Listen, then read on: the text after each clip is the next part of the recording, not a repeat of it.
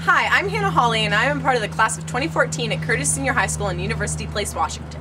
I hold a 3.84 GPA and I'm a part of National Honor Society and the National Society of High School Scholars. I am a two-time state participant in DECA and I also volunteer for the Humane Society and the VFW Post 10018 in Tacoma.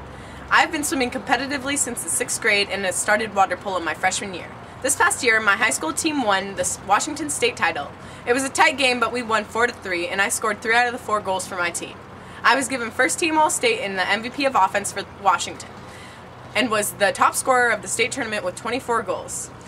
I have played water polo for my high school team and my club team, Puget Sound Polo, since my freshman year, as well as swimming for the high school team and swimming club. My goal is to continue my education and someday major in wildlife biology or animal pathology while being able to play at a collegiate level for a university or college. Thank you for watching and remember, the difference between ordinary and extraordinary is just a little extra.